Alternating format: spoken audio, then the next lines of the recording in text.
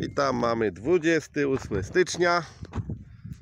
Dzisiaj ma być najcieplejszy dzień w historii. Jakiś ma paść rekord, koło 28 stopni. Jestem nad miejscowością Barcz, gdzie ostatnio kręciłem sporo filmów, jeśli chodzi o mieszkania. Jest parę tutaj jeszcze mieszkań nowych do kupienia. I tu są bardzo, bardzo ciekawe tereny wspinaczkowe, roślinne. To wszystko jest fenomenalne. Tu naprawdę można cudownie odpocząć, spędzić czas. Rośnie tu cała masa różnych ziół. Są unikatowe, które są tylko w Comunidad Valenciana. I właśnie na, na bazie tego e, robi się różnego rodzaju oliwki w przyprawach. Do mięsa się to dodaje. Pachnie niesamowicie.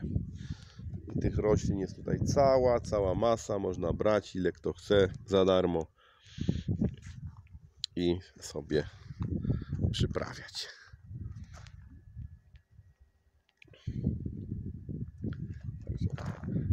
Specjalnie tu wjechałem, żeby pokazać jak to wygląda z góry. Tam daleko na dole jest miejscowość Simat de Valdigna.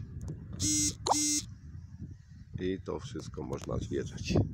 Zapraszam do tych regionów. Można tu kupować, jest jeszcze sporo nieruchomości.